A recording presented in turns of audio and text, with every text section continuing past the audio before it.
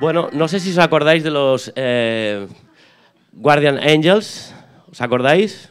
Sí, no hace tanto, ¿eh? Hace aproximadamente un mes que eh, eran eh, noticia. Con todos los hechos de octubre acontecidos la, eh, la semana pasada, parece que lo que hace eh, un mes que ha pasado, parece que, que- que sea antes del, del verano. No, esto es del 28 de septiembre, sí, de septiembre de este año. Em, y esta noticia salió publicada en, em, en los medios, ah, como Bitburger, por ejemplo. Es la noticia de tecno más leída de Bitburger en el último mes. Y lo es porque el título me encanta. El título es, mm, es, genial, es genial. Es, eh, ojo, eh, Fan Devoid del tecno a patrullar al metro de Barcelona, que es como decir que estaba en lo más alto y ha, ha- bajado al- al- por debajo del subsuelo, digamos, ¿no?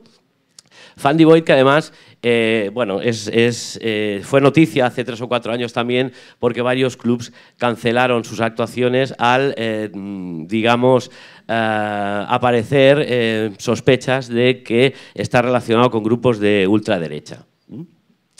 Eh, claro, em, que esta noticia sea lo más significativo del tecno en cuanto a clics del último mes da mucho que pensar. El, el el título, además, yo creo que es súper significativo, insisto, del tecno a patrullar eh, el metro de Barcelona. ¿Cuánto cabrón? ¿Cuánto cabrón? Bueno, y entonces diga- decimos que esta noticia parece que ya haya pasado mucho más tiempo, le acabo de dar al trasto este, Eh, parece que haya pasado mucho más tiempo. Sí, efectivamente, es un grito, un grito eh, que creo que es significativo de eh, lo que vamos a hablar ahora, que es que parece ser que en el LEF de Gijón ah, hubo alguien, no se sabe cuántas eh, personas, cuánta gente, que gritó ¡Viva Cataluña! cojonudo, me parece magnífico. De hecho, parece que hubo división de opiniones, porque claro, al grito le res- le res- hubo respuestas, unas, eh, hubo algún vítore y eh, también hubo algún silbido también, ¿no? Em, destaco eh, este tuit porque eh, la escena tecno apenas, mm, no me sale, ahora no recuerdo ningún nombre, no se ha significado nadie ni a favor ni en contra de los hechos sucedidos en octubre. Yo por lo menos no tengo, eh, más o menos voy siguiendo la actualidad a través de las redes, como se puede comprobar en esta exposición, pero yo no he em, captado ningún mensaje, eh, digamos, en torno a eh, toda la movida que suscitó la sentencia. En cambio, sí que he visto algún movimiento en la escena urban y trap, por ejemplo, C. Tangana sí se significó y el colectivo sello La Bendición Records también mandó un tuit hablando de, eh, bueno, posicionándose en todo caso, ¿no?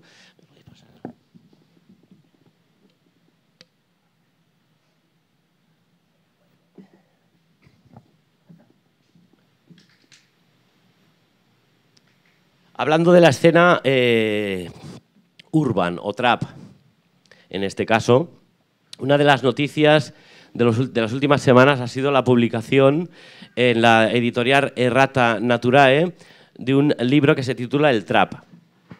¿Mm? Em, claro, em, es significativo que una escena mm, como el trap ya tenga su libro.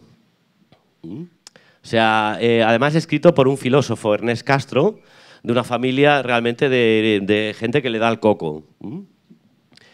Eh, aquí la, polémica, claro, porque el trap se maneja también con muchos beefs, ¿no? con muchas disputas, con muchas peleas, ¿no? a, ver quién, a ver quién es el más sagaz a la hora de responder y tal. En este caso, nos remitimos a, un, a una polémica porque eh, el Young Beef, uno de los artistas más representativos de la escena trap, eh, digamos que eh, hizo amago de intentar boicotear la salida del libro, que por cierto ya estaba eh, a la venta. Eh, yo, creo, que debe llevar dos meses como mucho el libro. ¿no? Dice, parece que Beef pretende secuestrar nuestro libro El Trap de Ernest Castro. Vía Burofax, esto me hizo mucha gracia, ¿no? porque estamos en el 2019, Burofax me suena como a otro, a otro tiempo, Trap, mm, Urban, Burofax, loquísimo todo. ¿no? Dice, vía Burofax y haciéndose un Fariña, por la retirada del libro de Fariña, en toda regla. Exige la retirada inmediata de todos los libros del mercado, a través de Burofax, no lo olvidemos. Y Ernest Castro eh, aprovecha el capote y dice, Jun Beef quiere denunciar a mi editorial, el trap ha muerto, larga vida a el trap, es decir, al, libro. ¿no? Curioso porque eh, el trap en estos momentos está viviendo un momento en el que los medios de comunicación están haciendo caso a toda esa escena, que además es mm, una escena mm, tumultuosa, de mucha gente haciendo muchas cosas, sí, a la vez, y em, nombres em, muy poco conocidos, muy remotamente conocidos por el gran público, pero ya tiene su eh, rincón en, en televisión española más concretamente en la plataforma de televisión española Place. ¿Sí? Tiene un programa que se llama Mistape y que se dedica cada semana a entrevistar a los nombres fuertes de momento de la escena. Digo de momento porque, claro, se le acabarán los nombres fuertes y tendrá que entrevistar a gente, ya digo, muy, muy anónima. Hay mucha gente ahora mismo haciendo este tipo de música. Yo diría que es la música de los jóvenes, es el himno generacional de los jóvenes. Y eh, ya ha entrado en televisión española ya ha entrado en televisión española. Mayodi, por cierto, es uno de los presentadores del, programa.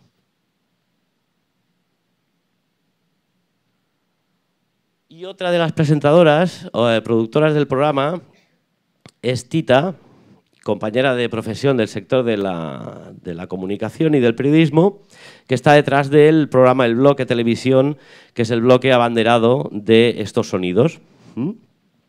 Y en este caso me, eh, me hago, eh, hago eh, referencia a ella, aparte de porque es una de las periodistas que está siguiendo toda esta movida, porque en, agosto, a finales del agosto de, este verano pasado, publicó un, mensaje en el que reconocía que había petado, que por cuestiones de trabajo y de no saber decir que no, y de colaborar en infinidad de proyectos, había llegado un momento en el que burnout, ¿Mm?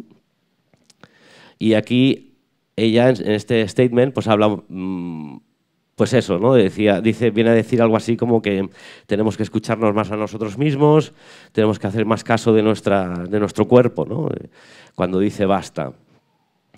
Y el tema de la psicología es un tema que además me interesa mucho porque em, cada vez veo que en los medios de comunicación se hace más, se, trata mucho más el tema de la psique de los músicos, de los artistas.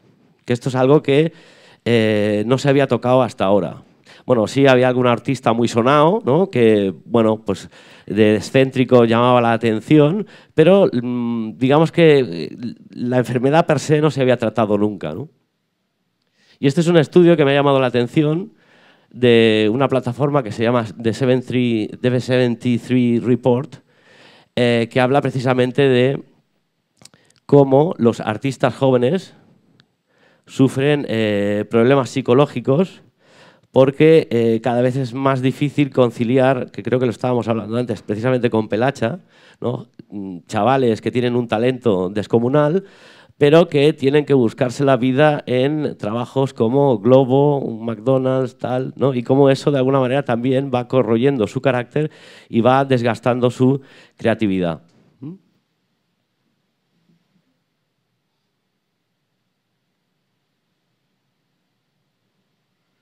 También tenemos otra noticia. Esta de aquí del periódico es de rabiosa actualidad. Esto ha salido hace dos días. Barcelona es la ciudad europea con mayor consumo de cocaína. Cada puñetero año sale esta noticia. El de las aguas, que si las alcantarillas, que si no sé qué. Que... Me, llama mucho la atención porque esta es una noticia muy recurrente. Eh, y hace menos, mucho menos, bueno, no tan, no, el 3 del 10, el 3 de octubre, 20 millones de euros se gastan los españoles diariamente en drogas. ¿Qué? ¿Te parece poco, no? Sí, no, la verdad que...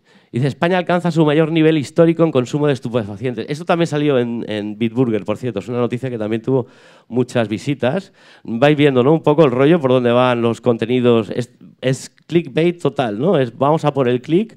Em, y este, este, es el tipo, es, además es que eh, lo he hablado con muchos compañeros de profesión, realmente mm, el titular llamativo es lo que se lleva, lo que es el periodismo lento que le llamo yo de un artículo que igual requiere pues 20 minutitos de lectura como mucho, eso mm, ha pasado a mayor vida.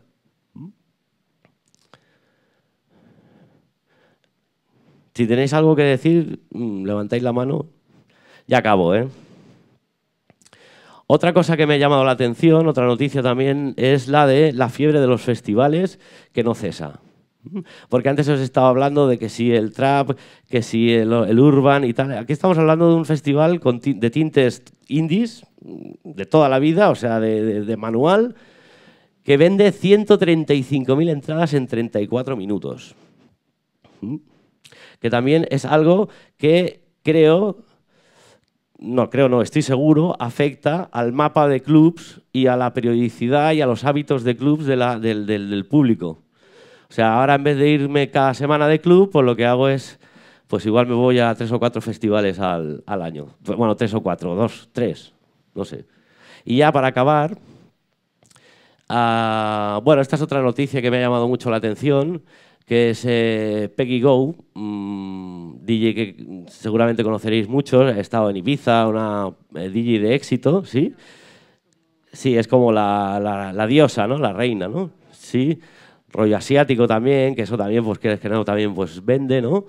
Eh, y en, un, en uno de sus mixes, en uno de sus últimos mixes, creo que es el DJ Kicks, si no me, si no me equivoco, sí, DJ Kicks, efectivamente, en su tracklist incluyó un tema de Pegasus, que es un, dice, Pegasus fue un supergrupo de la escena progresiva en Cataluña. ¿Mm? Me ha llamado mucho la atención, porque no tienen nada que ver, ¿no? Es como, o sea, mm, la escena progresiva que estamos hablando de hace 40 años, ¿no? Como vuelve otra vez a la, a la palestra gracias a una DJ de moda, además, de, eh, por, obra de, bueno, no sé, es, es una cosa que me llama mucho la atención, ¿no? Otra cosa que también me llama mucho la atención y que no deja de ser un anacronismo, pero que también eh, forma parte de nuestro mercado actual, es el de las cintas de cassettes. ¿no? Esta noticia es de Resident Advisor y dice que, eh, bueno, que por problemas de materiales la producción de cassettes eh, pues, se ha resentido bastante. ¿Mm? O sea, que vivimos en unos tiempos en los que estamos conviviendo con formatos de ayer, formatos de hoy y muy probablemente ya estén también los del futuro, también conviviendo con nosotros. Bueno, pues nada, espero que os haya agradado la, charla. Eh, sigo, le doy la palabra a otro de mis compañeros, en este caso es Andrés. Gracias, muchacho. Música experimental y electrónica de vanguardia, Senubera.